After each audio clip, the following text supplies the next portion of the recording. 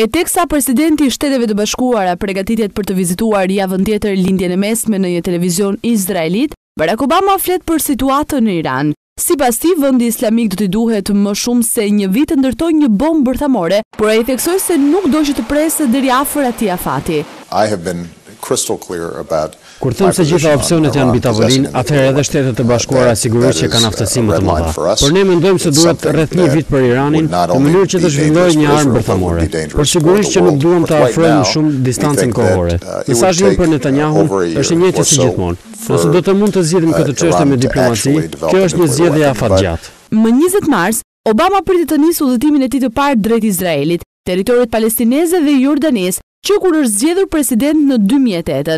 Ai dhe Netanyahu pritet të diskutojnë gjithashtu mbi luftën në vendin fqinj Sirinë dhe përpjekjet për të ringjallur bisedimet për paqe me Palestinën. Këshilli i Sigurisë në Organizatën e Kombeve të Bashkuara ka urdhëruar Iranin duke hartuar katër sete sanksionesh të reja. Por, Teherani këmbëngul se po pasuron uraniumin vetëm për qëllime paqësore dhe energjetike.